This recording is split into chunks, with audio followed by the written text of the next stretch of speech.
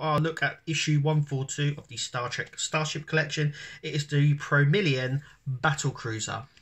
I hope I'm saying that right. Um, but yeah, it's one of those holy grail items that we, we always wanted.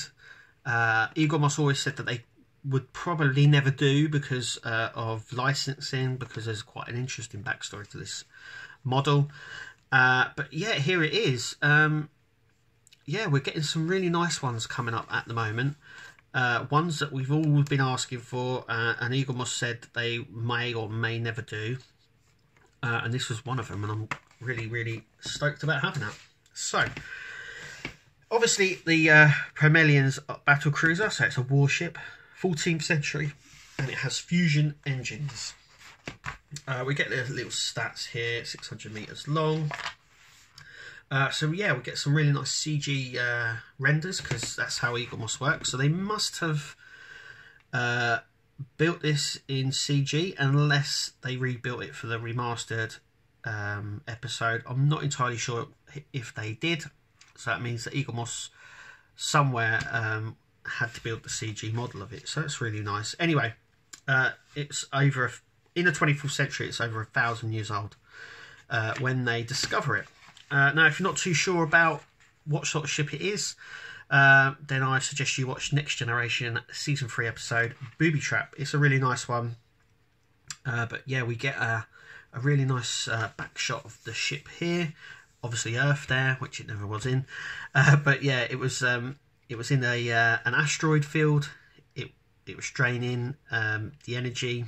There was a booby trap there. The Enterprise got trapped as well and in order to save itself, it had to destroy the ship and the asteroid field and lose it because it would have been a uh, archaeological find. Anyway, we get a really nice top view here.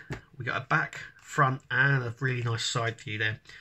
Uh, some interesting facts as well. So the bridge scene on the Promellian battle cruiser, where some of the uh, the bridge controls and stuff like that were used from the Klingon Bird of Prey set uh, that we saw in season two episode A Matter of Honor. Uh, so yeah, so you know they've reused a lot of bits. We know this anyway, but yeah, there's a re- like I said, there's a really really interesting backstory, and this is sort of like that backstory now. So originally, um, it was used for a comedy comedy horror film uh, called Night of the Creeps. It's a really weird film.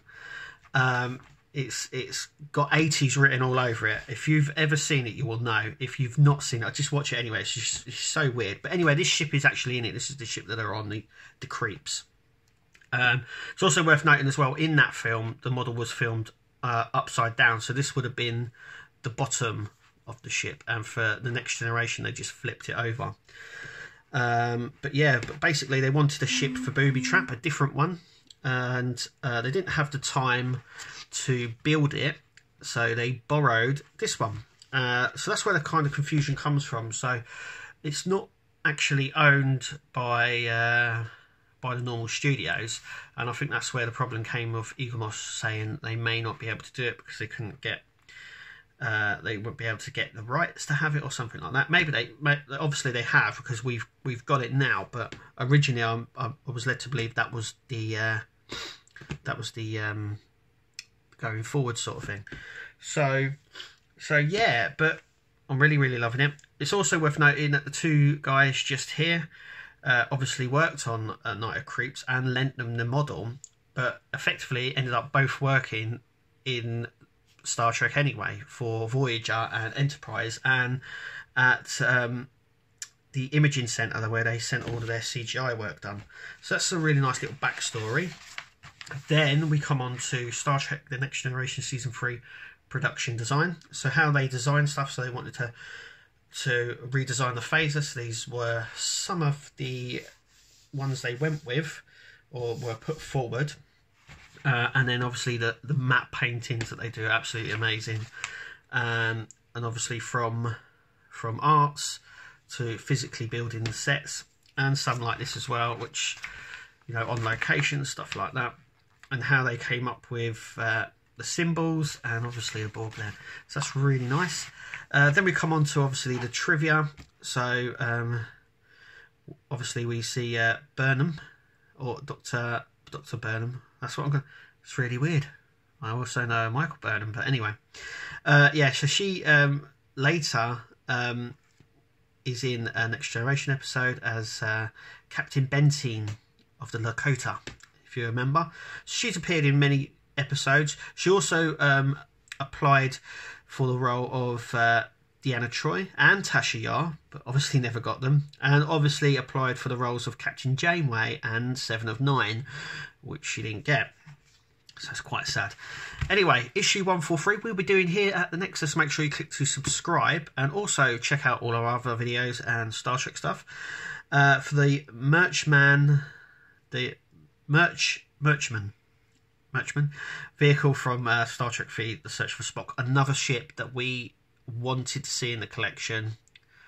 And we've got it. Yeah, it's one of those ones that we wanted. They weren't too sure because there was never a CGI version done we have got it. So Eagle Eaglemoss are really pulling out all the stops. And it's worth noting that they said that they were only going to do 160 issues. We are now at 142. There has been no mention of a extension. And it's getting rather rather close now to uh, the end. Uh, and with models like this and the other one, maybe maybe it is coming to an end. I'm, I'm going to, you know, there will be a tear shed when it comes to that. But uh, anyway, shall we have a look at the model? So this is the Promellian Battle Cruiser out of the box, and I've got to say it's it's really detailed. Uh, it's got this sort of um, sort of black wash over it as well. It's really nice. So I've used like um, an oil-based wash over it. So it picks out all these nice little details and sort of gives it a, an age weathered look. So it's really nice. And it sits in the base really nice as you can see. It overlaps, so it's a fairly big model. Uh, it's also worth noting that the top section here is die cast and the bottom section here isn't. So it's a fairly big model and it's a fairly weighted one as well. It's not too weighted, but you can definitely feel that there is die cast in it. But there, let's have a look, uh, closer look. So as you can see, there is quite a lot of uh, detailing here. It's also worth noting that this section here that this uh, sensor pod's sitting on is actually really thin and uh, in some time in, in some light levels you can it actually uh, has light bleed so you can see the light shining right through it.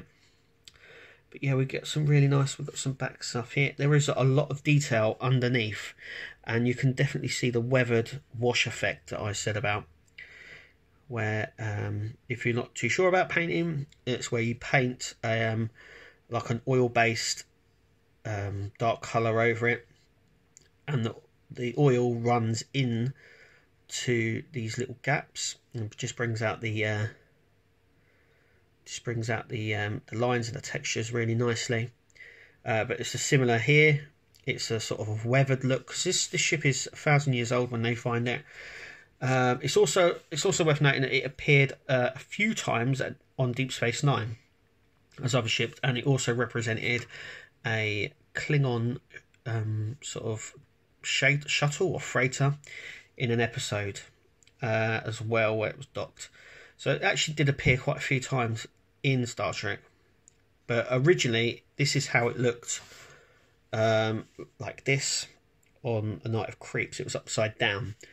Uh, so I'm not too sure. And they said that on the top here was untextured, so they had to do all this texturing for the episode. But yeah, it's just so nice. Um, yeah, I'm really. It's a really weird and interesting design that what what we've had, and uh, and yeah, it's really really nice. It's got these bits that's back here, as you can see.